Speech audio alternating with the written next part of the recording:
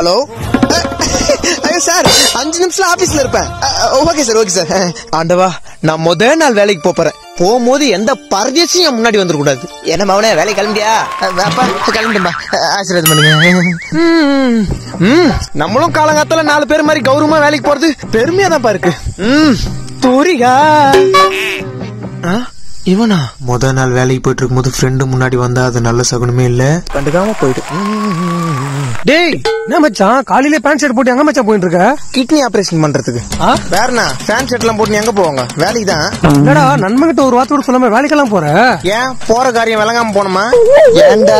டேய் மச்சான் மச்சான் நான் வரேன். என்னையும் ஜாயின் பண்ணி ஒரு அடி. இப்ப ஏன்டா பைக்ல போகும்போது பின்னாடி நாய் தொத்தின்னு வர மாதிரியே வந்துங்கிற? அது இல்ல. அதுக்கெல்லாம் நாலு ஆபீஸ் ஏறி இறங்கணும். பத்து பாஞ்சு இன்டர்வியூ அட்டன் பண்ணணும். ஆ? என்ன சொல்லும் போது மூளை கோயம்தா அப்படியே பெண்ணாத்தினே வீட்டுக்கு போ.